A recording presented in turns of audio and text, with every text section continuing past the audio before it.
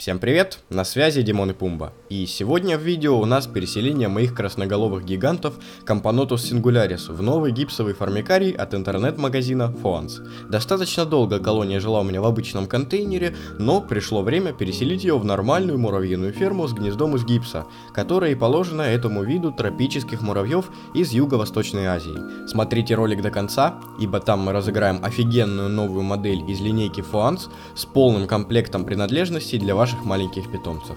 С вами Димон и Пумба, и это выпуск про большое переселение. Поехали!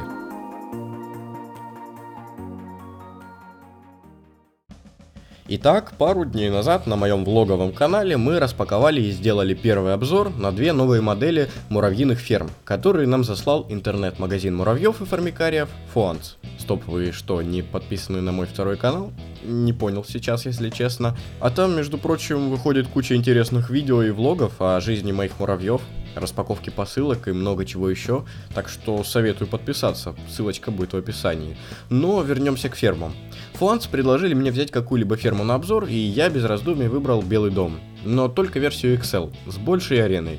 Как помните, у меня уже есть один формик этой фирмы, в нем сейчас живут мои Фидоли Нода, семиматочная империя маленьких воинов, это обычный белый дом. К слову, за три месяца никаких значительных минусов я в нем так и не нашел. Ферма показала себя отлично.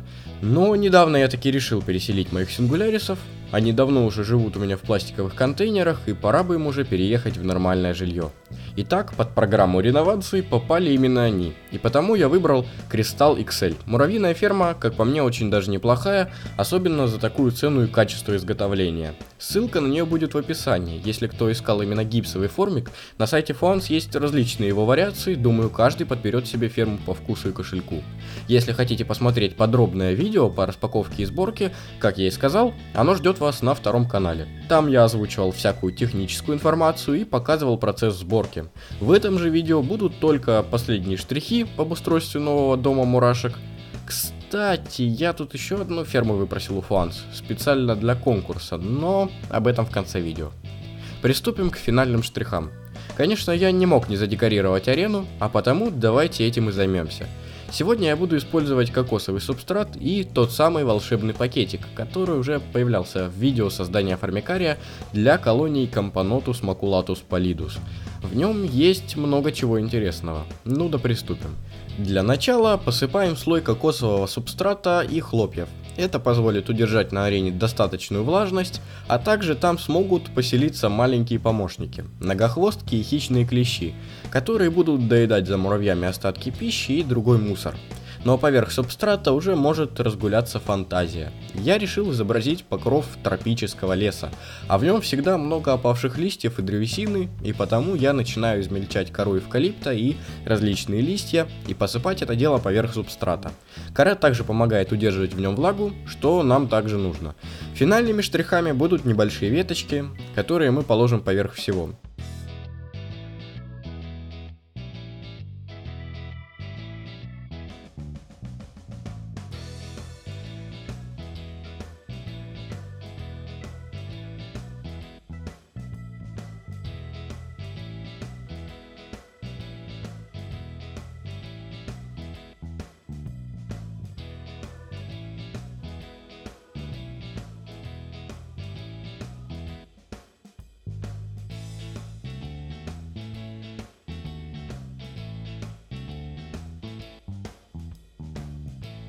Арена готова. Помимо ее декорирования, я также решил сделать импровизированный задний фон из все тех же листьев Монголии. Тьфу ты, магнолии, конечно. Казалось бы, при чем здесь монголы? Собираем несколько листьев в небольшую композицию и закрепляем между собой с помощью термоклея. Готово. Теперь мы полностью погрузились в атмосферу тропического леса. Можно заселять жильцов. Синги живут у меня в небольшом икеевском контейнере, в двух больших пробирках. Аккуратно перекладываем их на арену муравьиной фермы, благо размеры арены позволяют это сделать. После отлавливаем отдельных рабочих на арене. Некоторые прячутся в листьях, так что все тщательно проверяем, используем кисточку. Когда тыкаешь ей в муравья, он сразу в нее вцепляется, и когда переселенец уже над ареной, аккуратным постукиванием сбиваем его с ворсы.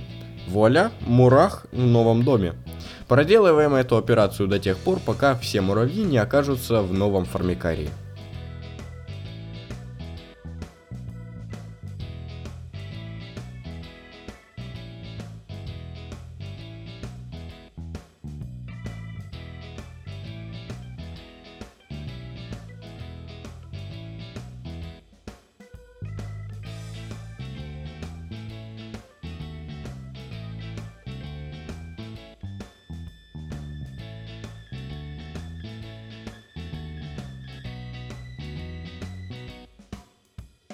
Разведчики с интересом изучают новую территорию. Чтобы подогреть среди них ажиотаж, дадим им немного сиропа. Ах да, совсем забыл сказать. Этот пенек-кормушку я также поставил на арену. Он отлично вписывается в общую стилистику и помогает муравьям не растаскивать сироп по коре, где он потом будет застывать в виде таких вот сахаристых образований. Нам это не нужно. Муравьи с азартом набрасываются на сироп. Сингулярисы водохлебы. Они напиваются сладкой водой, пока брюшки их не начинают просто распирать от этого сиропа. Думаю, связано это с тем, что в природе они не так уж и часто находят источники пищи, а когда находят, стараются максимум унести с собой. Пока разведчики изучали местность, наступил вечер, а потому мы оставим на ночь наших переселенцев и посмотрим, что будет на утро. Прекрасный сентябрьский пасмурный день начался отлично. К моему удивлению, муравьи всего за ночь полностью перебрались в новое гнездо и отлично там устроились. Видно, в пробирках им было некомфортно. Расплода у них немного, всего пара личинок и пакеты яиц.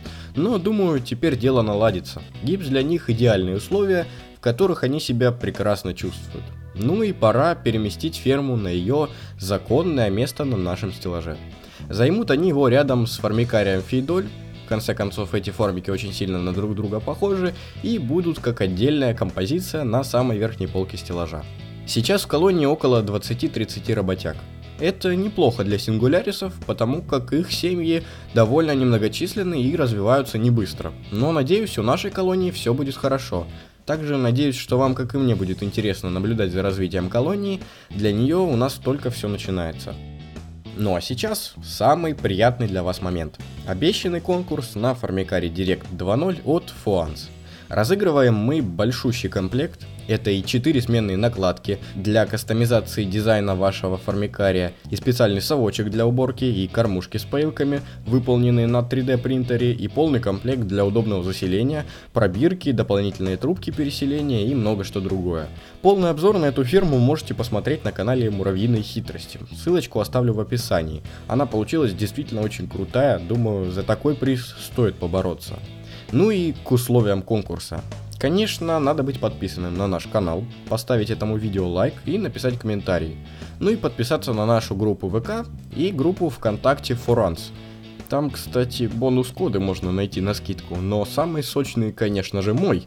Он ждет вас в описании видео и дает целых 15% скидки на любую покупку в их магазине. Обязательно им воспользуйтесь. Ну и самое главное условие – репостнуть запись в нашей группе себе на страничку и ждать окончания конкурса. Итоги подведем 1 ноября и бесплатно отправим приз победителю в любую точку России. Думаю, поучаствовать стоит каждому, ведь выполнение всех условий займет не больше 5 минут. Ну а на сегодня у меня все. Пишите в комментариях, что вы думаете по поводу этого ролика, нажимайте на колокольчик, чтобы первыми получать уведомления о новых видео, к сожалению, YouTube это делает не всегда, и, конечно, ставьте пальцы вверх, чтобы помочь продвигать наши видео. До самых скорых встреч, с вами, как всегда, был Димон и Пумба, Формикарий от Фуанс и колония Camponotus Singularis. Да пребудет с вами матка и всем пока.